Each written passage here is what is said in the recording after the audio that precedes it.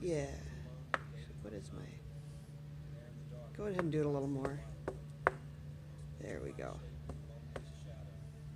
All right.